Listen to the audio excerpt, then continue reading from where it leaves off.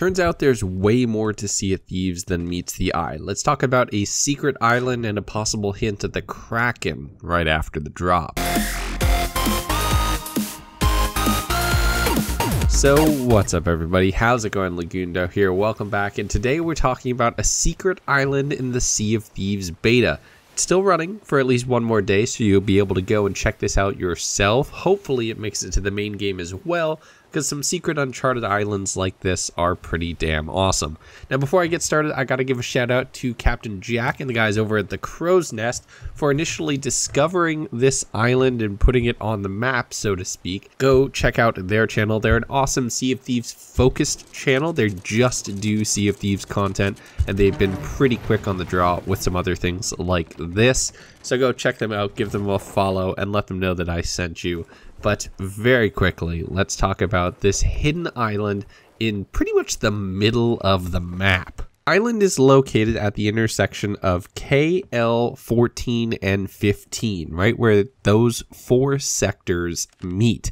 There's two small islands with not a lot on them. There's none of the painted ritual stones, there's no landmarks, and there's no intro as you sail up.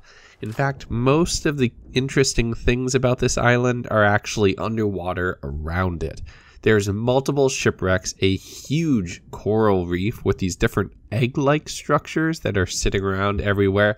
One of the most important things is these unknown sort of architecture, almost Mayan or Aztec looking pillars and arches that are hidden and dotted all throughout the area around the map there's two main things here. This one arch that has almost what looks like an altar or a table underneath with a triangle on it. I wonder if setting a chest there, or maybe a specific chest, or one of the items that we're supposed to collect for the treasure hoarders could possibly set something off in this area, or if this island could be the start for some other faction's quest line, or possibly even the start for some sort of raid activity would be really interesting. And the reason I say that is not only do we have these lost civilization architecture right here, but if you jump off near the northern side of the islands and swim down and you're going to have to swim down for a while. You see this huge snake like skeleton, almost like a gigantic eel of some kind.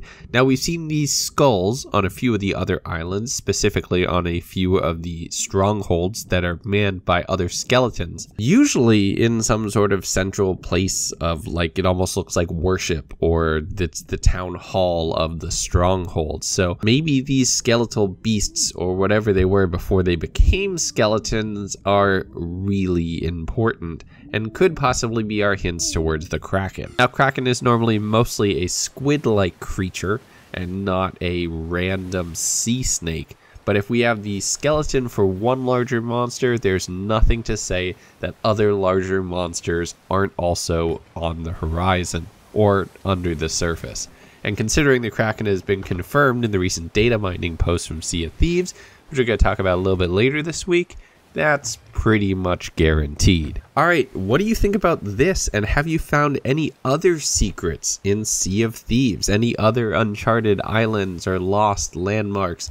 Any more of these hidden sort of really weird ancient looking structures. I'd love to know if you came across anything. And as always, you know what to do.